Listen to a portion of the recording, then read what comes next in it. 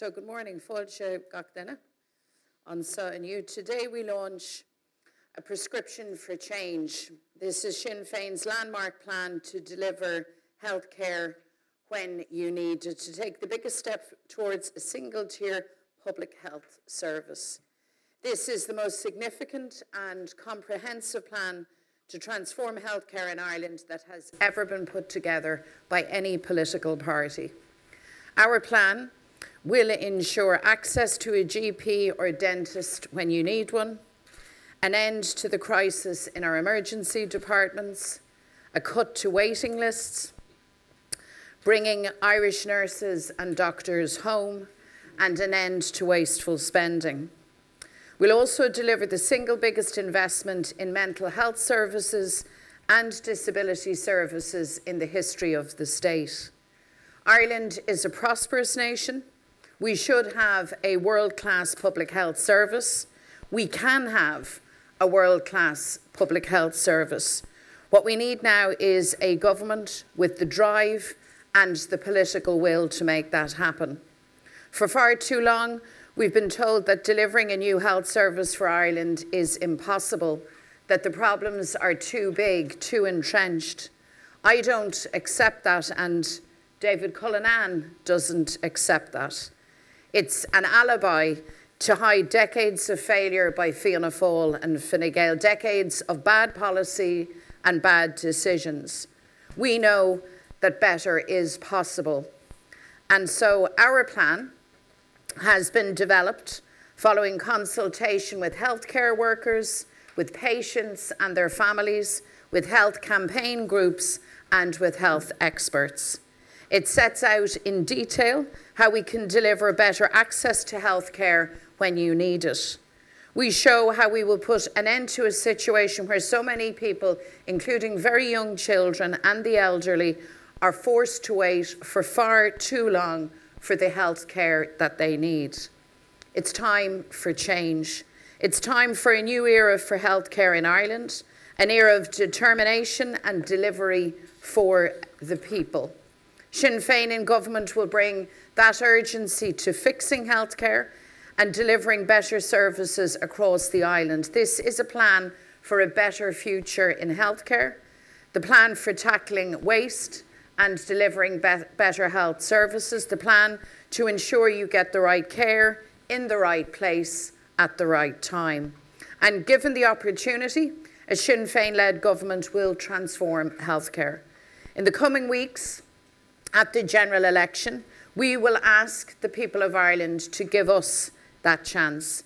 And I'm now delighted to hand you over to our health spokesperson, Teachta David Cullinane, who will take you through our plan in detail. David. Morning, Mary Lou. First of all, you're all very welcome. And for those of you who love PowerPoint presentations, we have one and I'll try and keep it as short as I can. But as you can see, it's a very extensive document. Uh, it is the most comprehensive document that has ever been produced by a political party in healthcare, in my view. That's the level of ambition which is needed if we want to transform healthcare. Uh, this document was done on the back of engagement and consultation with thousands of people. I've held 150 meetings over the course of the last two years. We've met with patients and their families, uh, children uh, with disabilities, children with scoliosis and their families, medical professionals, doctors, nurses, healthcare assistants, dentists, health campaigners, health advocate groups. I've met and talked to anybody and everybody that would talk to me about healthcare. And on the back of that, we have produced a, an in-depth, comprehensive, detailed but necessary health plan that will transform health services for uh, citizens. I don't believe that we should accept failure as normal in healthcare. It is not acceptable to me that patients are on hospital trolleys all year round. What was a winter trolley crisis is now an all year round trolley crisis. I don't accept that children with disabilities should have to wait for an assessment of need or access to therapies in a wealthy country or a child with scoliosis or spina bifida is waiting years for uh, treatment. I don't accept that a person should have to wait weeks to see a GP or that medical card patients can't get access to a dentist. All of that is failure and we can't accept a normalising of failure in health healthcare. Other parties may want to do that. I cannot accept that, which is why we've produced the comprehensive plan that we have. We need a Minister for Health and Social Care that will drive reform, that will give leadership, that will set in place the policy changes which are necessary and follow them through.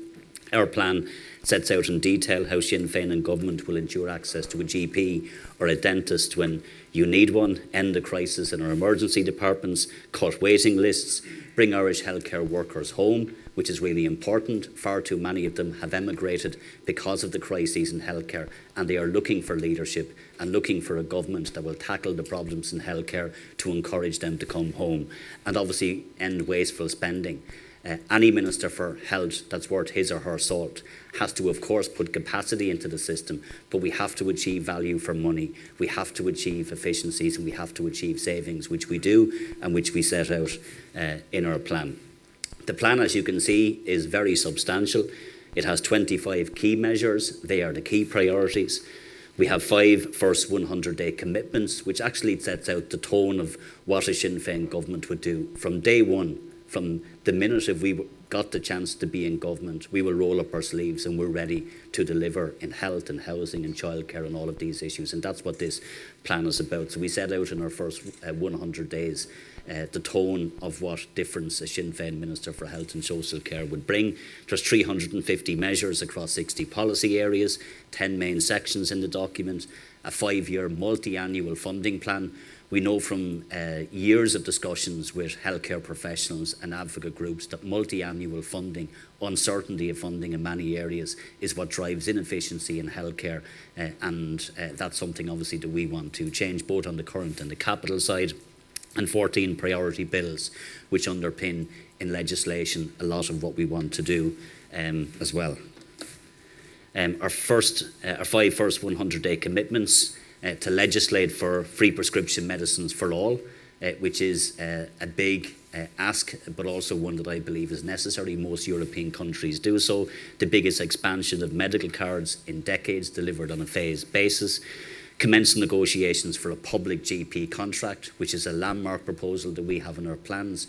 Again, most European countries have public GPs. Ireland is an outlier. Um, and we want to make sure that changes to give GPs a choice, publish a revised health plan for 5,000 hospital beds out to 2031, task HICWA to recommend a location for a second emergency department in the Midwest. It isn't the case now of if we need a second emergency department or Model 3 hospital in the Midwest, it's a question of the location and where it should be. And establish a Rural Health Commission to develop a 10-year rural health strategy. This state has never had a rural health plan or a rural health strategy when we know we have so many problems in rural areas in terms of people being able to access uh, healthcare. We will take big, bold steps towards a single tier health service, universal health care, national health service, whatever name people want to put on it.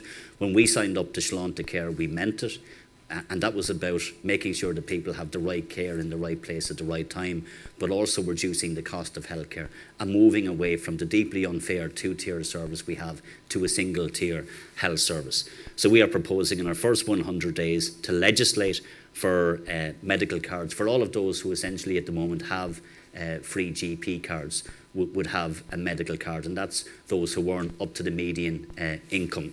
We would also make sure that all citizens have access to free prescription medicines and that would be phased in over the course of a, a lifetime of the government.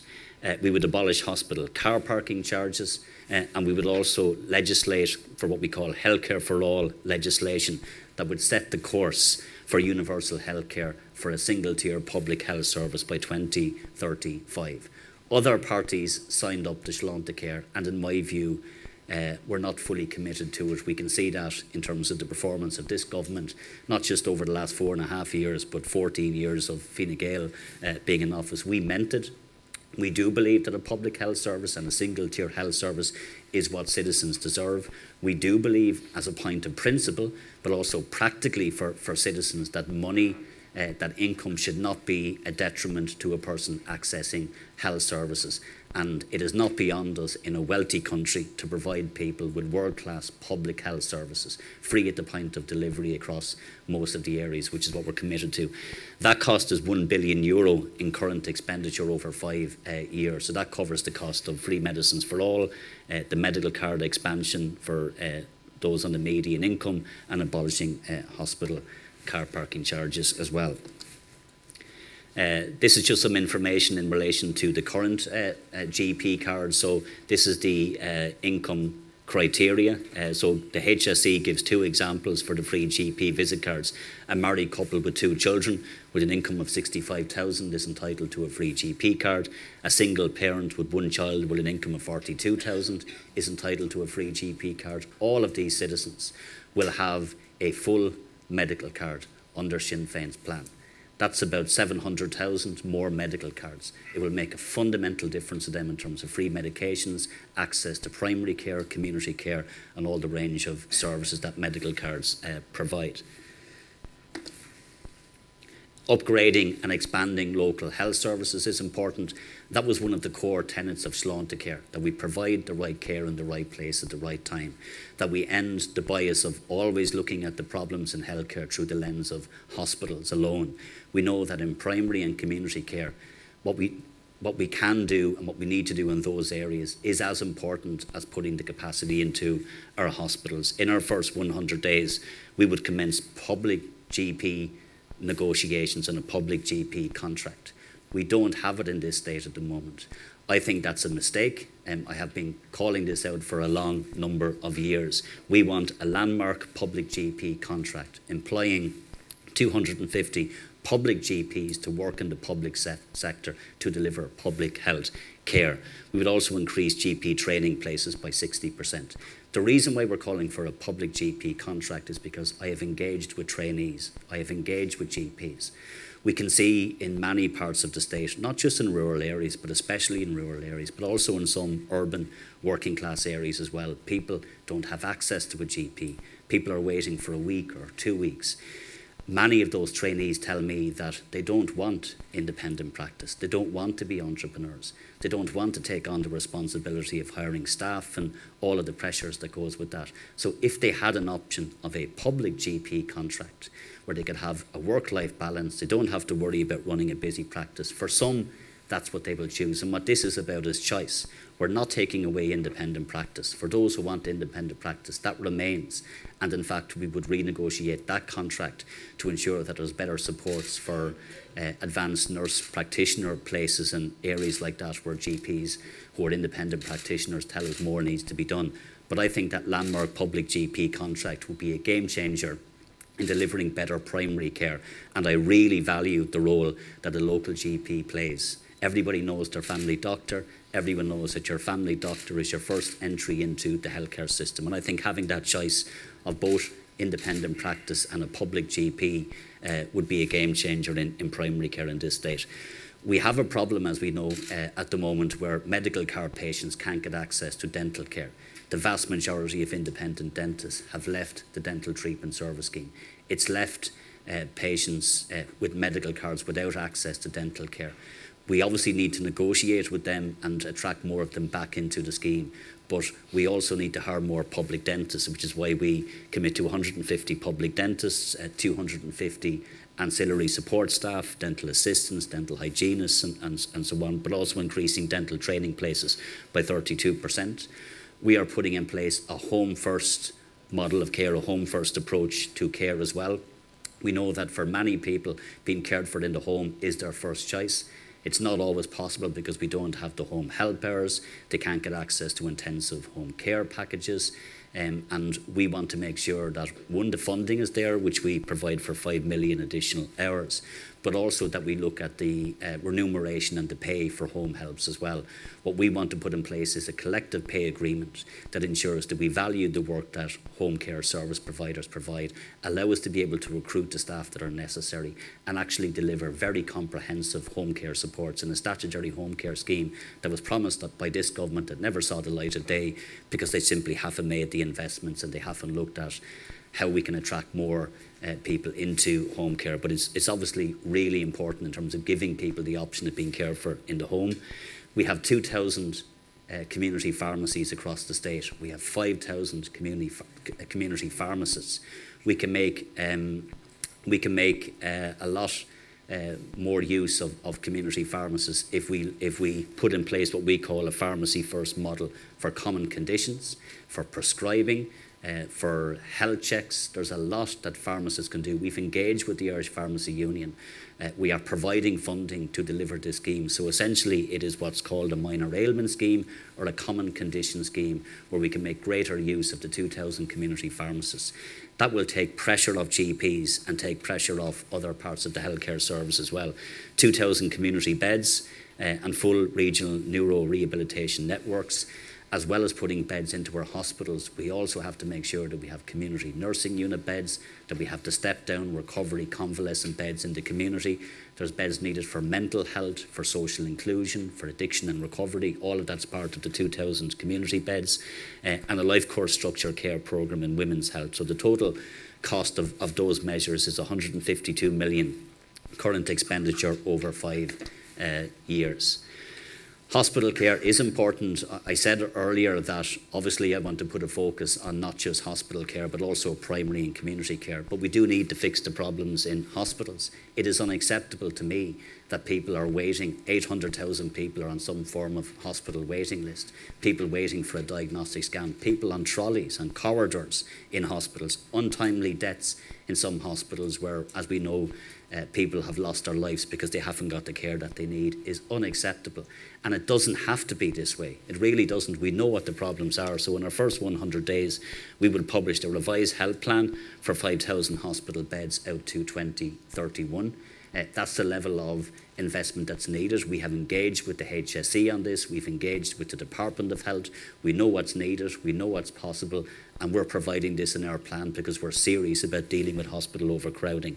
As I said, we'll task HIQA to recommend a location for a second emergency department in the Midwest.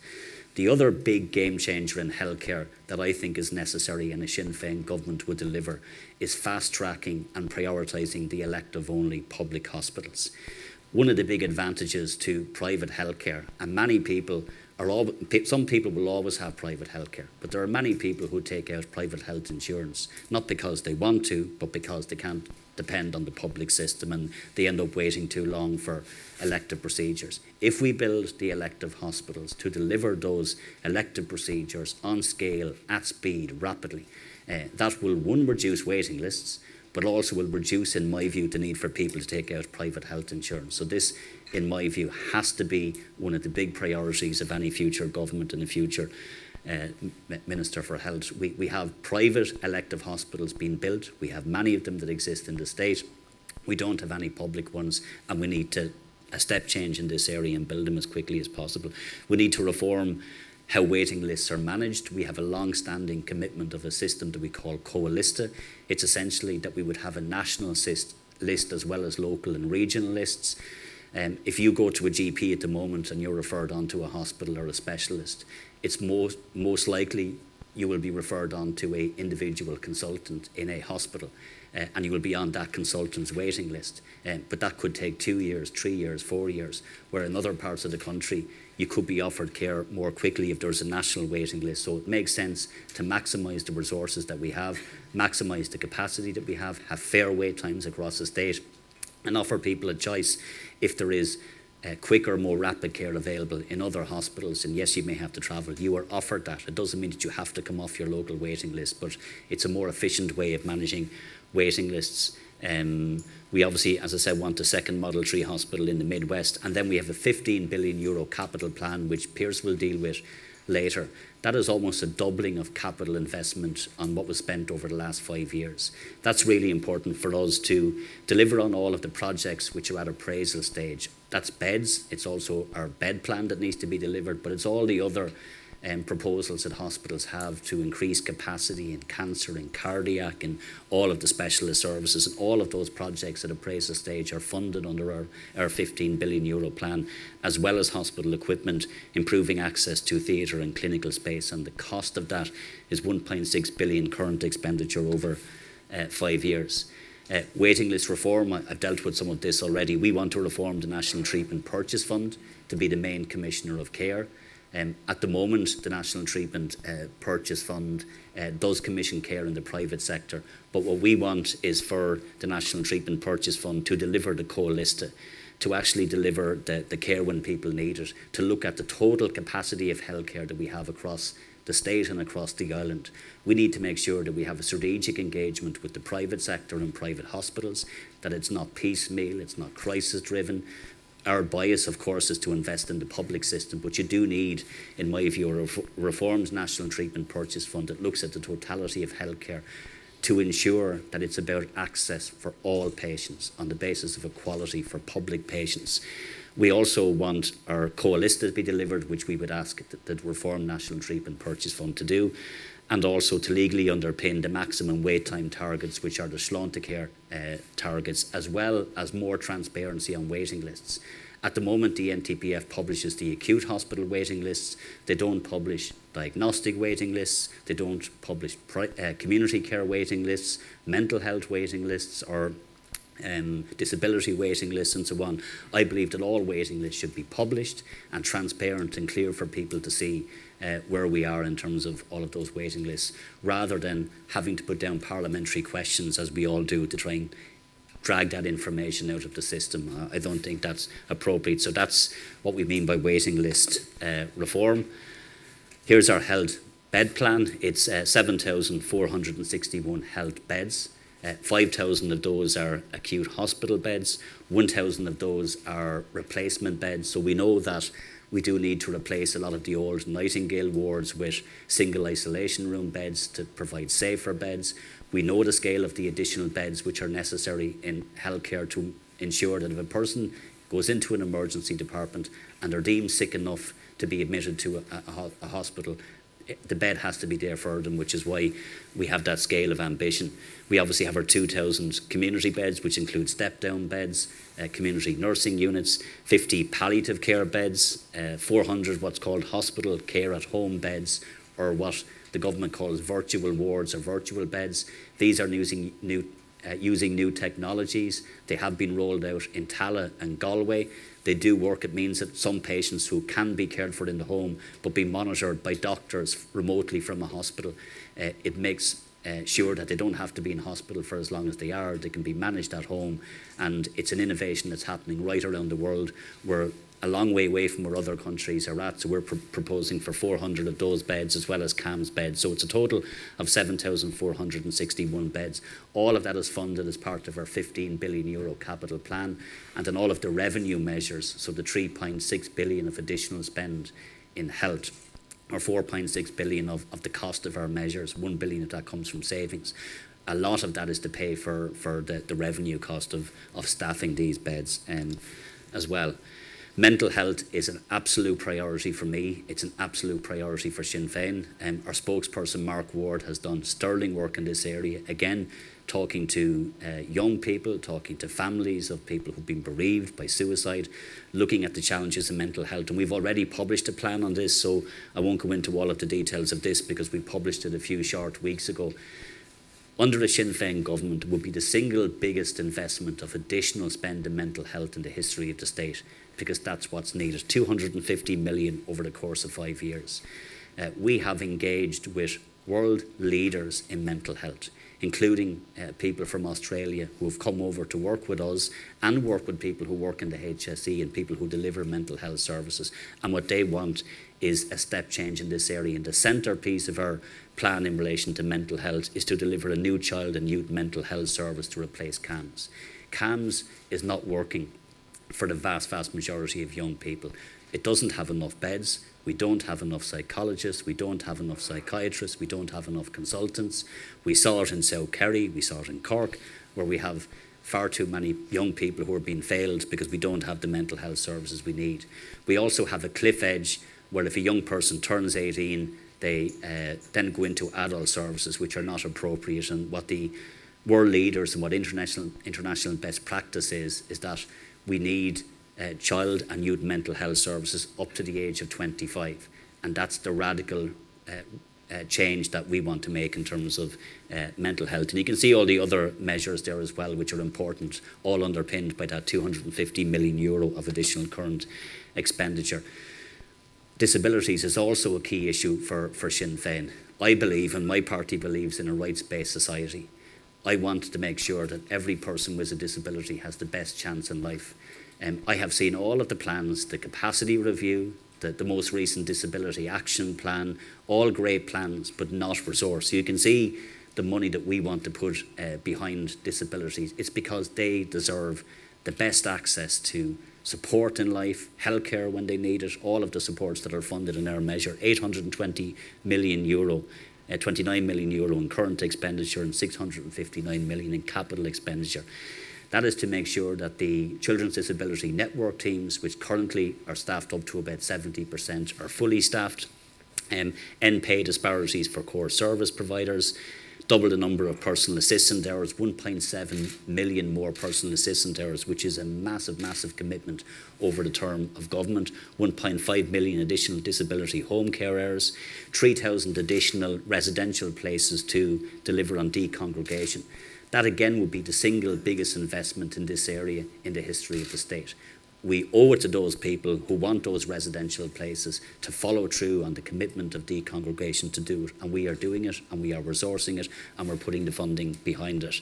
We also, of course, want the state to stop breaking the law, as this government has done repeatedly when it comes to children with disabilities. That should not be happening. We have to respect the equality legislation that's there, and we also need full compliance with the UN CRPD. We welcome The state has opted into the optional protocol, which is fair enough, but we want full compliance with the uh, UN's CRPD, and that's what all of our plans do.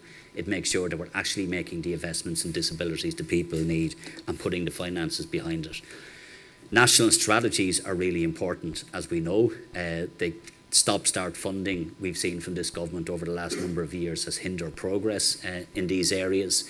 Uh, we know the big national strategies that are important children's health, women's health, cancer, cardiovascular, sepsis, rare diseases, all of these are important.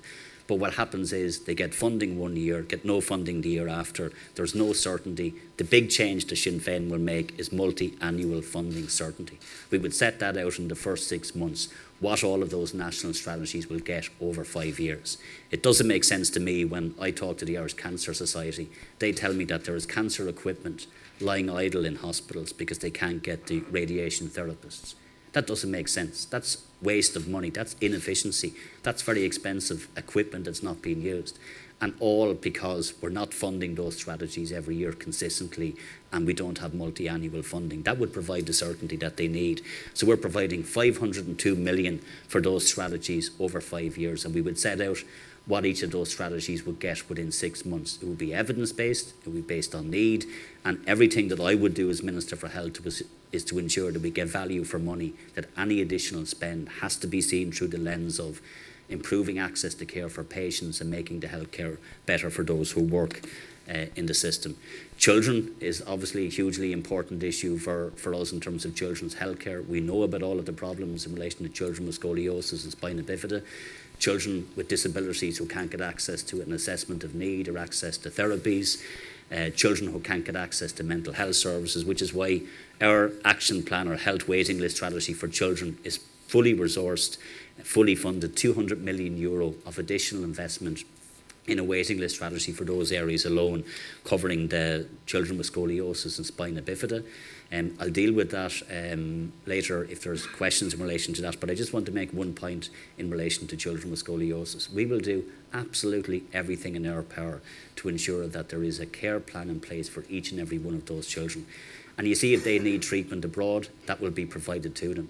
Whatever plan can be put in place, whatever route to treatment can be put in place, including if that means if they have to travel, we will fund it and we will make it happen. Two and a half years ago, I was calling on the Minister for Health, Stephen Donnelly, to reinstate the treatment abroad option for children with scoliosis. Only now is it being done. That just speaks, in my view, to the lack of urgency that this government and this minister has brought to those issues. And it is an emotive issue, and rightly so, because we have met so many of those children who have been failed by the government. We cannot do that. We will not do it, and that's why we're putting in place a strategy to ensure that it doesn't happen uh, under our watch. Um, I'm not going to go into all the details of these slides. I'm just putting that up there that these are the national strategies, cancer and cardiac, that are important uh, to to us. The details are in the plan, and if there's questions on them, we'll take them. Obviously, one of the enablers of our plan is to ensure that we can recruit staff. Um, we know that at the moment we have healthcare trade unions who are balloting their members for industrial action. Uh, we know there is a lot of burnout in the healthcare system. Uh, a lot of people who work in healthcare who do a fantastic job and really deliver the health service that we need, but they want reform, they want change, they want to see the type of plan that we're uh, proposing delivered. So, what are we proposing? 40,000 additional frontline staff hired over the course of the next five years, a job guarantee to every graduate. It doesn't make sense to me that we train all of these healthcare professionals, pay for their training, but then we don't recruit them at the end of it because we don't have a job guarantee. Some of them travel abroad, some of them emigrate for other reasons, um, and because of these reasons, and some of them go and work in the private sector. That makes no sense. So we will value the work that what they do. We will put in place a bursary scheme for first, second, and third year graduates of 3,000 euro. Um, and we would legislate for safe staffing as well in the health service.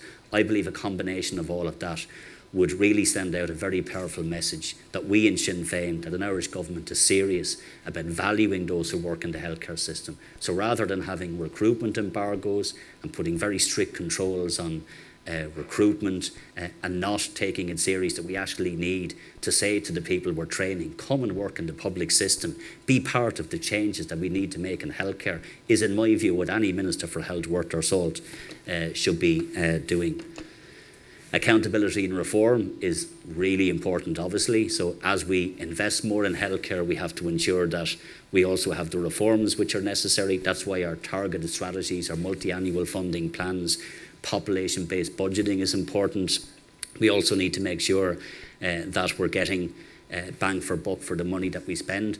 As we build infrastructure, we have to make sure it's built on time and on cost. No more repeats of the National Children's Hospital as I said earlier, when we begin to build four elective hospitals, there should be standardised designs and they should be functioning hospitals. We don't need the bells and whistles in relation to these hospitals. We need functioning hospitals that work, and we need an, a minister that makes a decision. We're doing it, provide the funding, and make it happen on cost and on uh, time.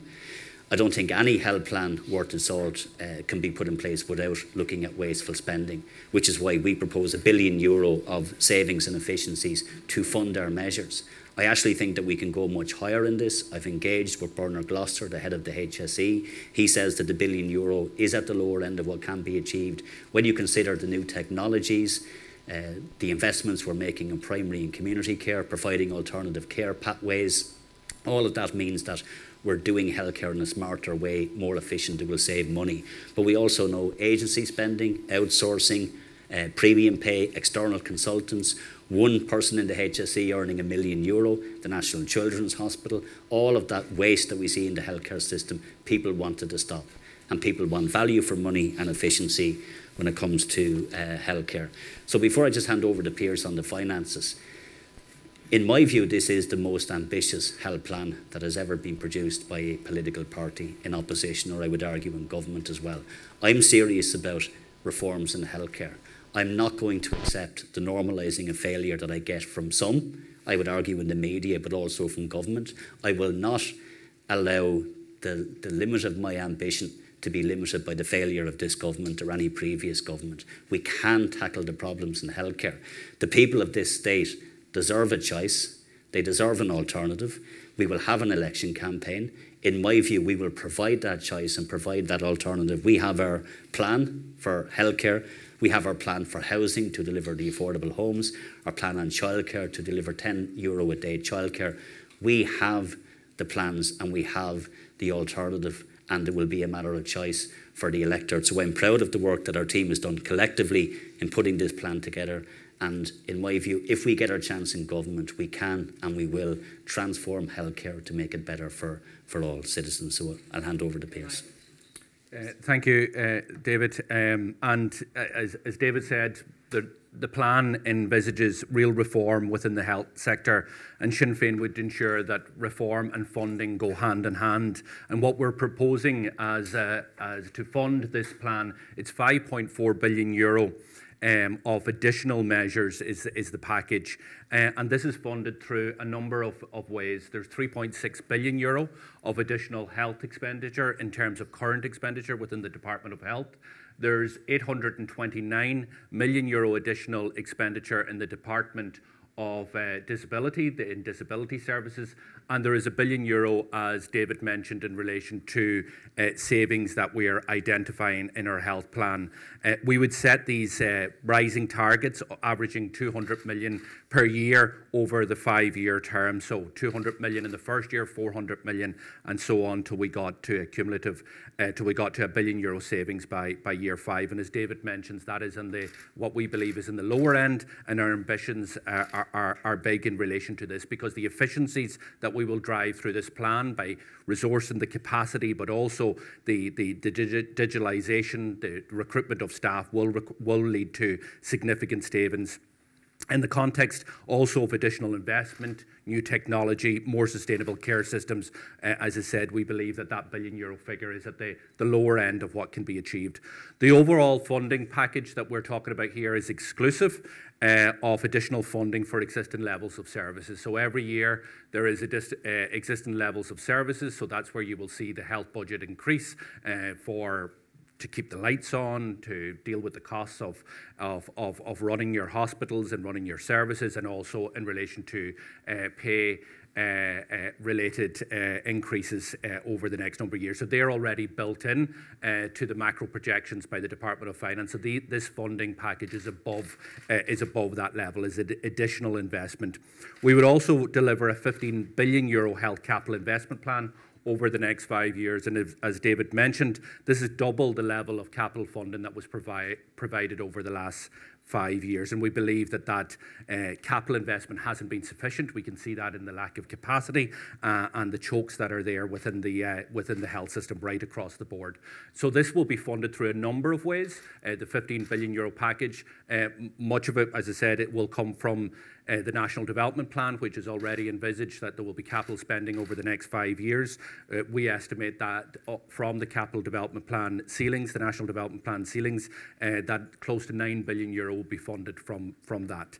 Um, and we will also provide 2 billion euro from the Apple tax money, uh, particularly in relation to the capacity, the additional capacity we want in terms of hospital beds to, to, to co-finance uh, that massive expansion, uh, both in acute beds and also beds within the, the, the community. And we will also then provide from the surpluses and the growing resources of the state, the remainder of the money to provide for the 15 billion euro, the 15 billion euro capital plan.